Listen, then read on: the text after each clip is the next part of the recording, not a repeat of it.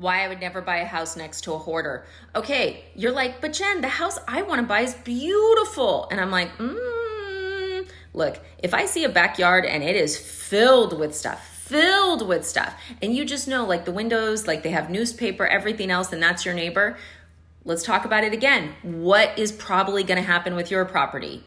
Rats. That's right. It's rats again. Rats are everywhere in America and you want to try to avoid them. So it's like, look, if the property that's an inch away from yours has no one taking care of it and it's hoarding up stuff, of course you're going to end up with rats because they're just going to crawl over the fence to your beautiful yard. And every time you barbecue, if you forget to clean that grill, guess what? They're going to lick it for you. So you better watch out for that. So that is why I would never buy next to a hoarder's house. Also, potential smell issues. I'm very picky.